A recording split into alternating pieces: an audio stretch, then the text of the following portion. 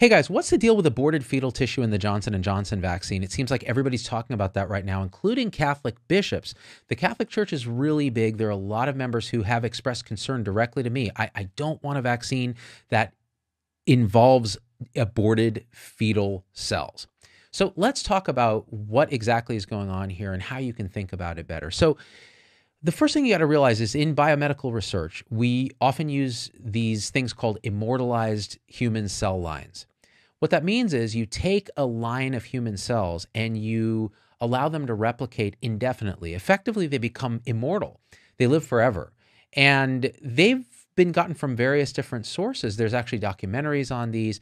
But recently, in terms of vaccine development in particular, and drugs that treat rheumatoid arthritis, cystic fibrosis, hemophilia, other drugs, they were developed, tested, manufactured using some of these immortalized cell lines that were originally derived from elective aborted fetuses from the Netherlands in the 70s and the 80s.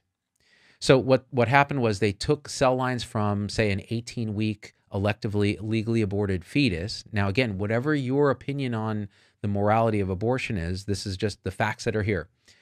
They took these cell lines and they allowed them to replicate in petri dishes generations and generations, thousands of generations out.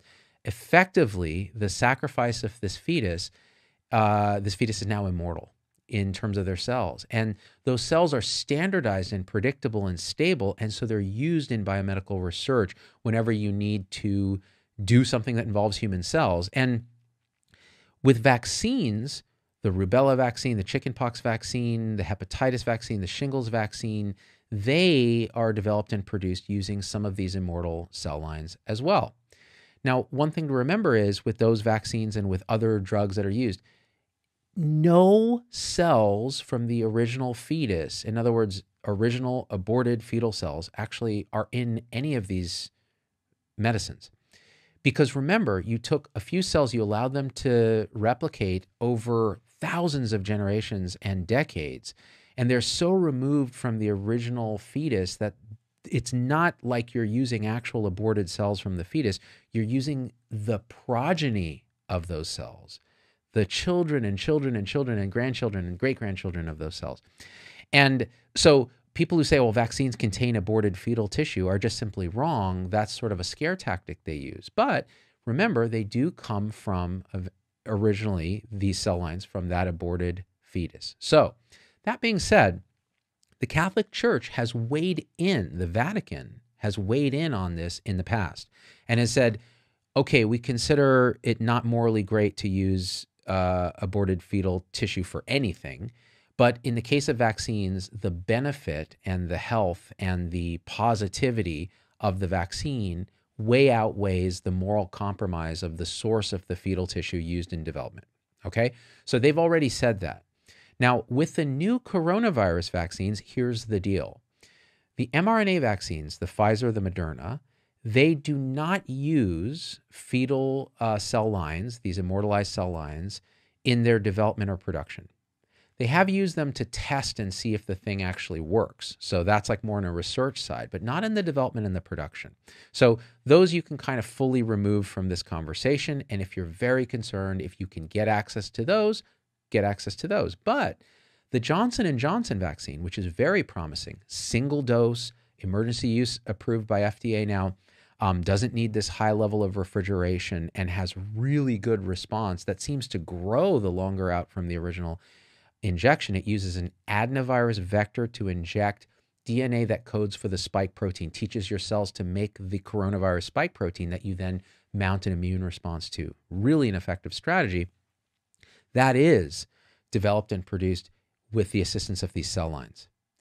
And so some US bishops have said, well, this is morally compromised. Therefore, if you have a choice, you should choose the the vaccines that don't use those strategies.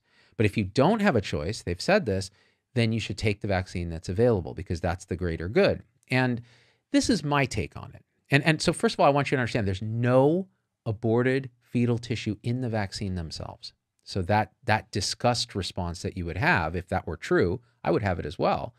Um, you can take that away. But the truth is, here you had the sacrifice of these fetuses in the past, decades ago, in the Netherlands.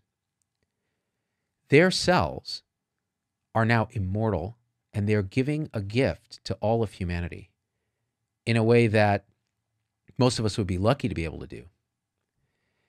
To use a biomedical product that was derived from that sacrifice, to me, honors the sacrifice. And I think that if I were making a decision, that would not factor into it for that reason, right? I would look at what's the available vaccine right now because they're not all available and are they effective and safe? And all of the options currently uh, available now are. So share this with someone who's concerned. I know a lot of evangelicals, Catholics, and people who are very concerned about abortion have raised this issue and have sent me messages. And let's respect where they're coming from and say, well, here's the information. Now you can make your decision. All right. So share this. I love you guys, and we are out. Peace. Become a subscriber. Click the subscribe button. Then right to the right of his little bell. Hit that bell. Booyah! You get notifications. Never miss any of our stuff. I love you guys. We out.